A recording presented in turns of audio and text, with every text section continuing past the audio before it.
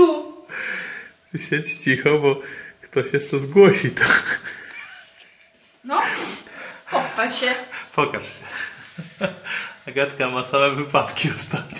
Tak. Najpierw nosek, co się nie chciała pokazywać na poprzednich filmach, bo z plasterkiem chodziła. A wczoraj co ty przywaliłaś właściwie? W drzwi. W drzwi. Nieprawda. To się tak nazywa drzwi. Ale Jak- co mam powiedzieć? Drzwi. Jakby to była prawda, to w życiu byś tego nie powiedziała. Bo tych nagrań nie było. I No, nie to by, było. to by dokładnie, to by nie było. Słuchajcie, tak, siedzimy tutaj zagadką i skręcamy instalację. Tu mamy wszystko, wszy- cały ekwipunek mamy tutaj. I ja w pewnym momencie słyszę, Agatka sobie tak skręca kluczem e, te, te, te wszystkie zaworki i nagle mówi, do, skręcając kluczem, nie? Nagle mówi, o jak przyjemnie, o proszę, jak przyjemnie. Bo wymyśliła To sobie, jest mój patent wkręcania śrubunka. że śru, śrubunek będzie wkręcać kluczem, Bo to ale są w ten sposób. specjalne uchwyty, blokady, które blokują, żeby się klucz nie, nie ruszał. Dzięki temu można śrubunek wkręcić. No, pochwal się Agatka swoimi nowymi kluczami. O, tu są. Ten, ten, ten. Słuchajcie, no musieliśmy dokupić, bo no nie idzie, nie idzie poskręcać tego, bo nasz klucz, pokażę Wam, nasze klucze to były tak.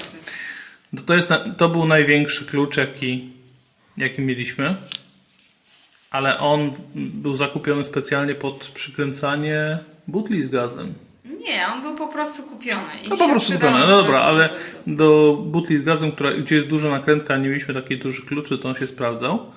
No ale później się okazało, że no, do instalacji jest za mały. Jeszcze zawsze, a od, od zawsze ratuje nas taki klucz. To się chyba nazywa Holender, czy jakoś tak, nie wiem. Od zawsze nas ratuje, a wiecie dlaczego? Bo jest tutaj cienki. Dosyć. I wchodzi w cienkie miejsca, można go docisnąć. No i do tej pory nas ratował, ale on troszeczkę zdziera te plastiki z, ze złączek PP. No i dlatego trzeba było się zaopatrzyć w profesjonalny klucz e, hydrauliczny, który ma ząbki. I te ząbki wchodzą w te. O, już pokazuję. Te ząbki wchodzą w te kształtki plastikowe. I jak wejdą, jak to, to dociśniecie, to nie ma opcji, żeby to się przekręciło. No i takim kluczem to naprawdę można, no można sporo. Już dokręcony? Tak, ja już podokręcałem, proszę jeszcze bardzo. masz jak, jak ładnie jest dokręcone. Jeszcze będę miał, o widzicie jedno. A pokaż największy klucz. największy mamy taki. Ale porównaniu ja do- por- większy. Jeszcze większy zamówiłaś? 34 chyba. No.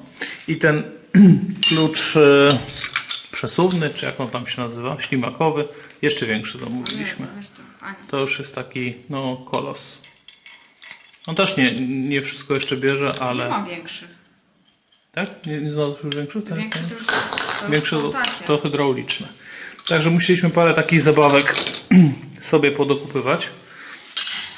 Ale teraz bez problemu skręcamy zawory, skręcamy kształtki. Tymi prostymi kluczami wszystko jesteśmy w stanie tutaj skręcić. Także linki do narzędzi, których używamy zawsze dajemy Wam w opisie, jakby ktoś potrzebował.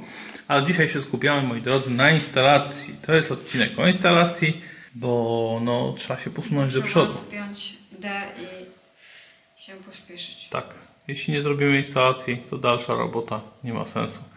Ale dla tych, którzy e, pytali się, dlaczego najpierw wykańczamy piwnicę, to jeszcze raz zobaczcie, w jakich my pięknych okolicznościach teraz pracujemy. No, Podziwiamy sobie kam- nie chodzi o kamyki. Tylko chodzi o to, że można po prostu tu robić już, tak? Przy, no, przyszedł taki moment, że trzeba robić i, i można to robić. Chociaż nie wszędzie, trzeba już gdzie niegdzie ścian pomalować. No, panowie na górze Tak, nam tak. robią dach. Dzisiaj kładą blachę, więc już jest takie. Wreszcie widzimy, jak to wszystko będzie wyglądać i będzie bardzo ładnie. Jeszcze tutaj. Chociaż być może wy już oglądaliście ten dach, nie wiem na jakim etapie jesteśmy. No ale pewne rzeczy dzieją się równolegle, a nie zawsze filmy możemy równolegle publikować. E, No i teraz musimy, tam są takie trzy rury, trzy kolanka, które idą na główną instalację w domu i właśnie tam musimy się dzisiaj podłączyć. Będzie trochę zabawy, bo to jest w takiej wnęce, ale mam nadzieję, że sobie damy radę.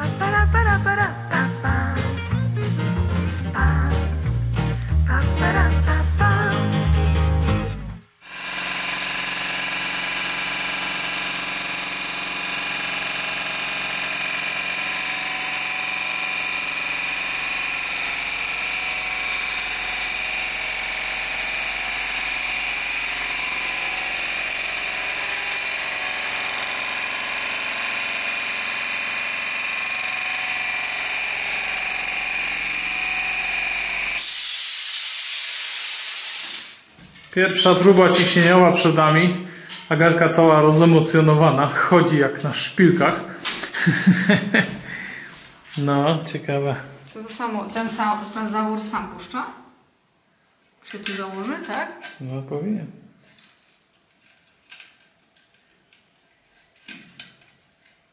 A jak to działa? Nie mam pojęcia. No trzeba ścisnąć, to jest szybko łączka.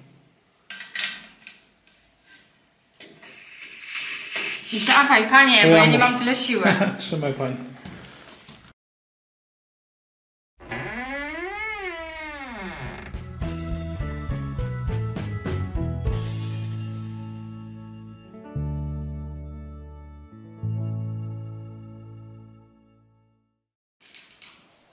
Agatka jakieś węże sprowadziła do domu. Co ty tu znowu Węże syczące. Syczące. Moi drodzy, instalacja zostaje owinięta izolacją. Ale żeby nie było, to oczywiście najpierw zrobiliśmy próbę ciśnieniową. E, Na próbie, próba ciśnieniowa na cyrkulacji i na zimnej wodzie już została zrobiona i tam wszystko jest ok. Była próba podwójna, bo było najpierw powietrze, tak Agatka? Tak. a później woda. Czyli dwie próby robiliśmy. Próba powietrzna, próba wodna. E, Powietrzną no to robiliśmy kompresorem e, i to wszystko było ok. Oprócz, Ciepłej wody. bo Bo się okazało, że korek jest do dół. widzicie, korek, nie instalacja. Korek to Na- najważniejsze. Na korku syczało. Na korku syczało. Natomiast teraz robimy e, próbę ciśnieniową wodną, czyli do środka instalacji wpuszczona jest woda. A do tego celu wykorzystujemy specjalne takie urządzenie. I to jest fajne, bo nie trzeba normalnej wody puszczać, tylko macie taką maszynkę. I Agatka nam teraz objaśni, jak to działa, o co chodzi. Do instalacji podłączamy sobie. W komplecie jest taka gwin, e, złączka na gwint zewnętrzny, jedna druga. Podłączamy się do naszej instalacji. To jest śrubunek, czyli można łatwo sobie to potem wkręcić na uszczelce. Podłączamy się przewodem. Oczywiście to jest wyposażone w manometr. On ma jedną tylko wadę, niestety nie jest do końca dokładny. No bo to powinno być trochę inny manometr. Powinien być bardziej o, z podziałką przynajmniej co, ile to jest? Co 0,2 bara. No tak, ale dokładność dokładnością, ale tu chodzi o to, żeby wskazówka No, się nie ruszyła na próbie ciśnieniowej, Tak, tak? tylko że inna dokładność jest tutaj, a inna jest tutaj. Jeżeli No tutaj tak. ruszy ci się o milimetr, to znaczy, że ile to jest barów? No nie wiemy dokładnie. Dokła- no właśnie, Ale to no, próba ciśnieniowa ma się prawie nie ruszyć, tak? prawie, no, nie, dopuszczalne są spadki. Natomiast to jest zawór spustowy. Oczywiście zawór odcinający musi być, żeby odciąć pompę. Tu wanna na wodę i normalnie ręczna pompa, którą... Ręcz, O. teraz w tej chwili ona nie działa, bo jest zawór zamknięty. Ale po prostu wtłacza cię Ręcznie, ręcznie sobie pompę, tak. także bardzo fajne urządzenie. Działa jak ręczny kompresor na wodę. No, odrobinę, odrobinę jest odro, malutki spadek, ale są bardzo delikatne. No to samo, samo rozpieranie materiałów pewnie No, robi swoje. Także jest dobrze. Czyli próby ciśnieniowe dwie przeszło. Teraz izolacja. No i powoli będziemy się szykować, zamykamy to... strop. tak. Znaczy jeszcze e, grzewcza, ale grzewczej na szczęście tutaj mamy niewiele na tym poziomie, dopiero na styropianie jest większość instalacji. No. To Dobra. z izolacją to taka dłubelina, nie? A jak później to taśma trzyma dobrze? Zresztą to w ścianie będzie Nie do tak. zdarcia. A poza Tak. tym to jest właśnie w ścianie, więc... A to później będzie zaszpachlowane, rozumiem. No. Zresztą e, już tutaj rura od kanalizacji została tak zrobiona, że została już ta dziura po niej zaszpachlowana. Mamy w tej chwili gniazdo do włożenia instalacji od syfonu. I ono już siedzi bardzo sztywno, więc będzie łatwo nim operować. A kanalizację też sprawdzaliśmy, co widzieliście w poprzednich odcinkach. I też wszystko działa, nie przecieka, także jesteśmy na dobrej drodze.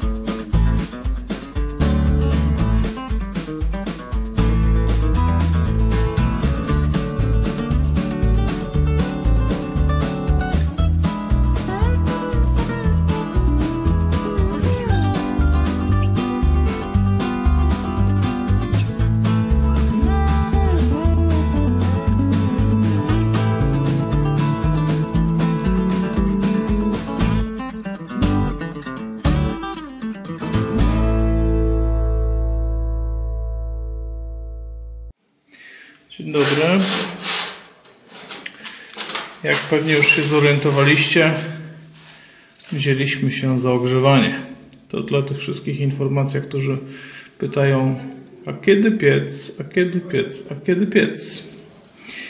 No. Dużo jest tych a to jest... No, no jest trochę, znaczy było więcej, jak zaczęliśmy tłumaczyć, to jest trochę mniej, ale jest ciągle zapytanie, ale wiecie, że piec to wiąże się z ogrzewaniem. U nas szczególnie, bo piec łączy się z całą instalacją ogrzewania w całym domu przez różne systemy, które Agatka zaprojektowała. No i żeby ten piec zrobić, to też parę rzeczy musi być zrobionych wcześniej. I nie da się zmienić kolejności, a jedną z tych rzeczy jest to, żeby zorganizować całą instalację ogrzewania w podłodze i w ścianach. I do tego właśnie nam jest potrzebne to, co teraz robimy, czyli instalacja rozdzielacza ogrzewania w szafce takiej ściennej. Kombinujemy, że to teraz zrobić. Jak to pójdzie, to już znowu kolejny krok do przodu, żeby mieć ogrzewanie. I teraz nam Agatka pięknie wytłumaczy, co jest co. To znaczy?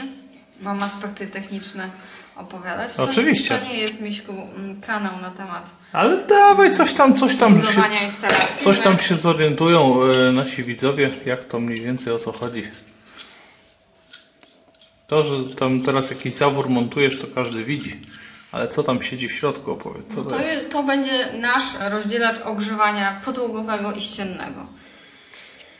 Ci, co siedzą w temacie, to wiedzą, że taki, taki rozdzielacz może służyć do, i do ściennego, i do podłogowego, ale nie musi. Oczywiście to wszystko zależy od tego, jak to sobie co wymyśli. No i on będzie obsługiwał nasz część, część tutaj ogrzewania w salonie, w jadalni i z tego co to chyba w kuchni. Nie pamiętam już. A w jaki sposób on działa? No to tutaj mamy, jeżeli mam technicznie powiedzieć, to, tutaj mamy zawory termostatyczne, które, którymi ustawiamy nastawę. Bo to są zawory typu on-off, raczej tylko do zamykania i otwierania. A tu mamy przepływomierze, które, którymi ustawiamy przepływ na danych nitkach ogrzewania podłogowego, ściennego, płaszczyznowego ogólnie. Czyli jak chcemy cieplej, zimniej, to właśnie tutaj. Nie, jak chcemy, y, znaczy tak, no, przekłada się to tak, na ciepło zimno. Cieplej zimniej, tak.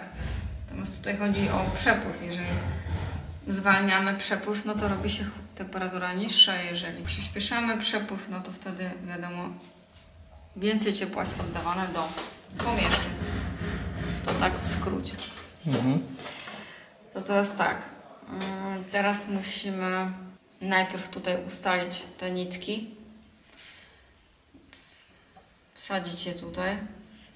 Połączyć z tym. Dopiero e, możemy śrubunkiem przykręcić to. Natomiast najpierw musimy rozdzielacze ustawić. Mhm. Dopiero możemy mocować rury tutaj. No to bierzemy się. Jeszcze takie bajerki jak temperatura wlotu. To też są fajne takie rzeczy. Temperatura powrotu, zasilania. I ty to wszystko zaprojektowałaś i później e, wyszła ci z tego lista, co trzeba zamówić. Nie, to, to, to już jest taki bajer. To nie, to nie musi być. To nie jest wymagane. Natomiast był w komplecie akurat. No fajnie jest patrzeć, jak, jaka jest temperatura zasilania. Czy nie jest za wysoka, czy coś się nie dzieje, czy nie jest za niska. Mhm. W tej chwili mamy w, pomieszczeniu 23 stopnie. Mhm. Dobra, działamy, kręcimy.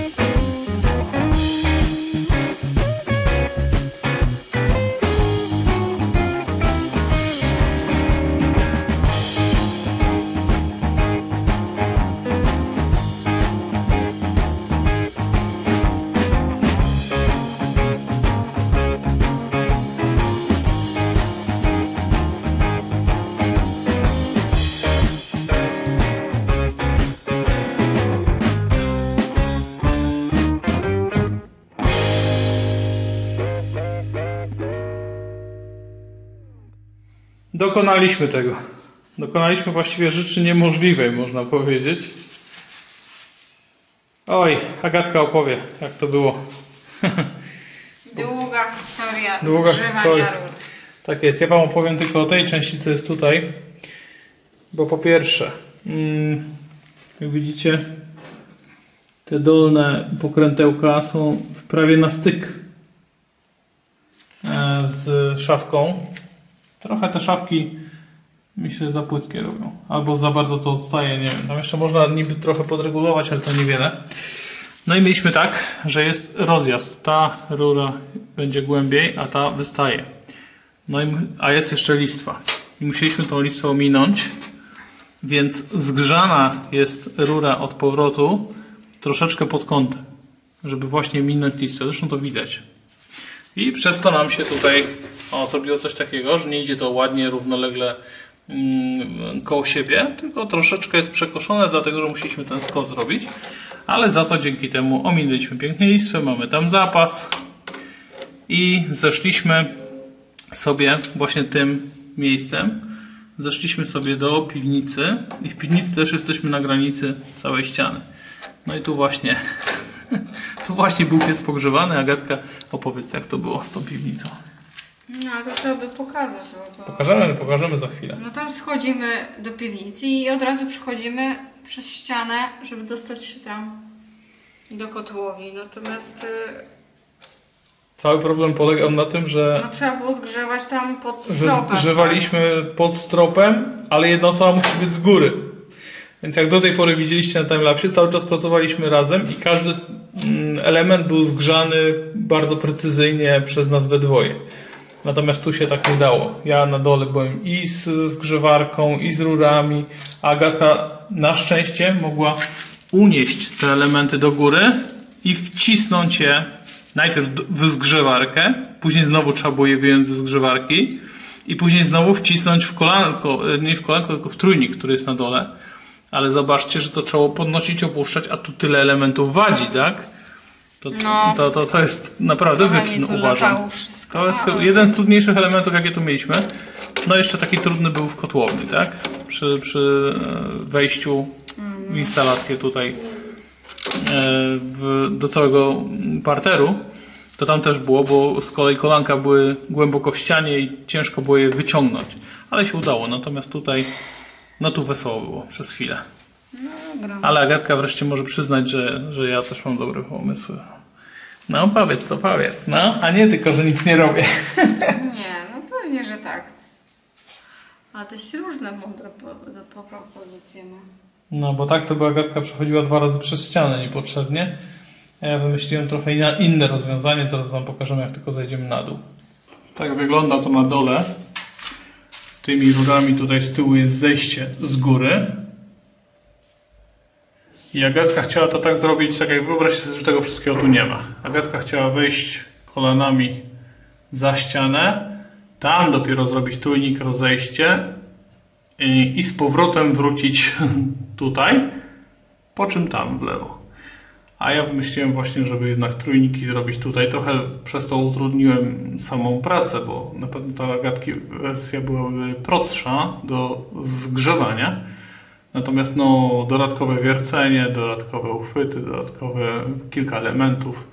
Także trochę się pomęczyliśmy, ale już Wam tłumaczę o co chodzi. Schodzi z góry i wchodzi kolanami za ścianę. Tam pokażę zaraz jeszcze co będzie. Natomiast po drodze daliśmy dwa trójniki i oba trójniki, jak widzicie, przechodzą sobie z zaworami w tą stronę. Będzie to ciepła woda do ogrzewania i powrót ciepłej wody. Teraz gdzie to idzie dalej? Dalej to pójdzie sobie na sam koniec i tam na końcu na ścianie z czasem, oczywiście nie teraz, tylko kiedyś, tam się przebijemy, jak już będzie oranżeria, to tam te rury zostaną doprowadzone do oranżerii i tam będzie ogrzewanie podłogowe w oranżerii. Więc to jest na element na przyszłość, dlatego zostały założone zawory, które jednocześnie będą zaworami odcinającymi całą instalację grzewczą w oranżerii, bo po co zakładać dodatkowe, te już służą właśnie temu. Natomiast teraz, póki nie będziemy oranżerii montować, te zawory będą po prostu zamknięte i ogrzewanie jak najbardziej będzie działać w domu, a kiedyś również w oranżerii. Tak to wygląda z tej drugiej strony ściany. Te dwie rury z tamtych kolanek, które tam były, wychodzą sobie. Tu będą skręcać kolankami i wchodzić w te dwa otwory, a stąd już bezpośrednio do kotłowni, do bufora ciepłej wody. Tu jeszcze myślę, żeby tu jakieś podwieszenie zrobić, żeby te rury jednak tutaj, one są bardzo sztywne i pewnie jeszcze jak damy tutaj rurę i połączymy kolankiem, to bardzo będą sztywne, ale Gatka zawsze lubi, żeby jednak coś jakieś tam na takiej przestrzeni jakiś uchwyt był, więc tu prawdopodobnie przykręcę, obejmę taką plastikową do takich rur, ale przykręcę ją do dwuteownika w tym miejscu, bo idealnie, no po co kręcić taki duży czpień do sufitu, kiedy można właśnie tutaj bliziutko przychodzić dwuteownik, wywiercę otworek i śruba przejdzie przez niego nakrętka od góry i będzie idealnie.